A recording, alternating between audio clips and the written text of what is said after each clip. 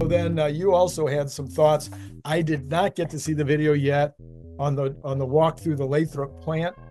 Mhm. And this, of course, is your, you know, you wish you were there doing that walkthrough and and Yeah, video absolutely. yourself. Yeah, but uh, so what what did you learn on the walkthrough?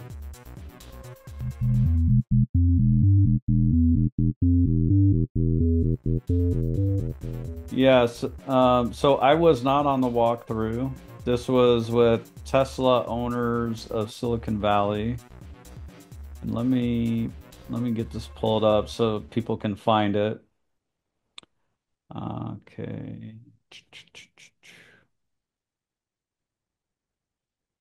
Here it is. So 25, 26 minute video. I'm guessing it's on their YouTube as well. Sure.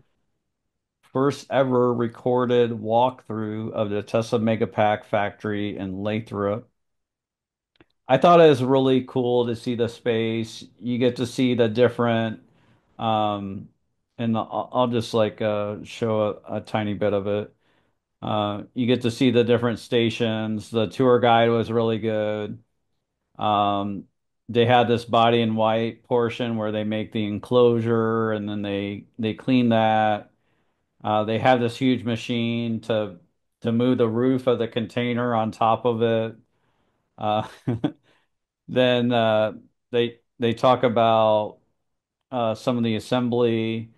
We learn about why they're painted white, how heavy they are, but we uh, I kind of spoiled that. So uh, she said they're 84,000 pounds. Yeah. Uh, Yeah. I had I had been giving out a 82,000 pound number, which is what Drew Baglino said.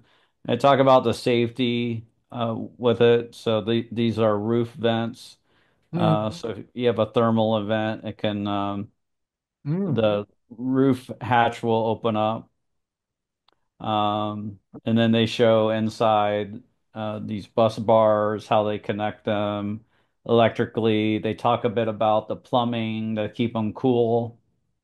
Uh, so I, I thought it was really cool because, well, one, uh, I'm I'm uh, a big fan of the mega packs. I may not be the biggest fan, but I'm I'm I'm up there. yeah. Yeah. And uh, it, it was cool to see inside the factory and get a sense of the space and the workstations there.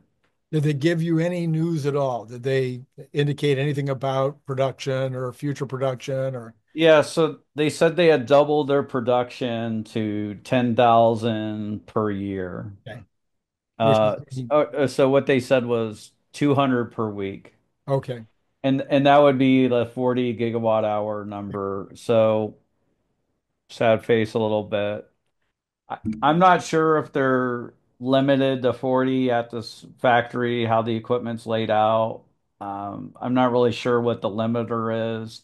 When when they stopped by certain stations, it seemed like um, this a lot of the stations were stopped. So I don't know if they were waiting for body on white or body in white or the cleaning or if they were waiting on batteries. I don't know, but um, so I, I'm not really sure what the bottleneck is right now. Um, I'm losing a little hope that they they might like suddenly have a capacity of 80 gigawatt hours at at Lathrop. At that specific building, at least. Mhm. Right. Could put another building in right next door or down the street, but in terms of Yeah. that building with that current uh, layout, it might be Mhm. maxed out. Okay.